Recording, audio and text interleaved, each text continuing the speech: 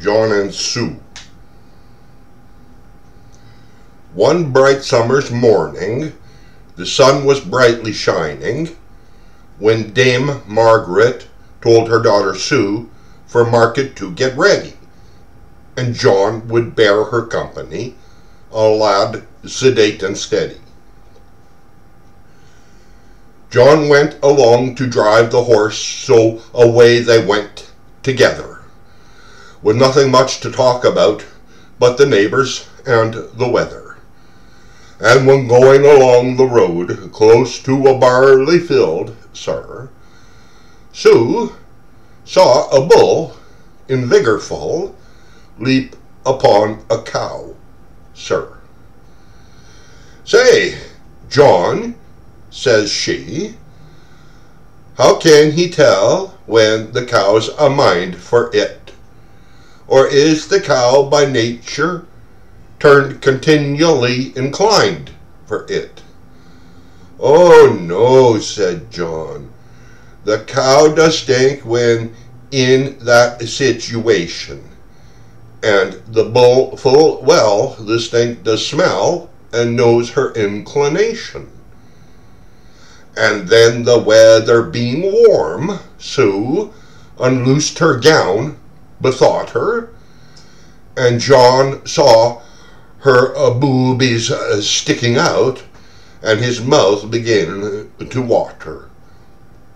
When something in John's uh, breeches rose that made his conscience stagger, so stiff it grew the buttons flew, up popped his tallywagger. Then Susan's dark and rolling eye began to flash and brighten, for now she saw the pretty thing that girls also delight in. Says John, said she, "'Tis fiery red, and now if you will tell me, I really think that I do stink. Pray see if you can smell me. So John got out and tied the horse, and amorously embraced her. And in the wagon on some hay with gentle hands he placed her. At first they took it on their sides, but Sue she overturned him. And John soon made the butter come with his tallywagger turning. Then Sue got up and shook herself, and set her down right clever, but they had not gone a mile or so till she stunk as bad as ever. John rasped her off the second time with his good stout repeater, and as he rasped her off again, he swore it tasted sweeter.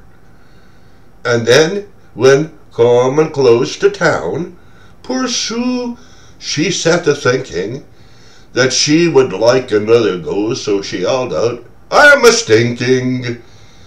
John said, You have a fiery arse too hot by half, I tell you. And if you think you do stink, by God, I cannot smell you.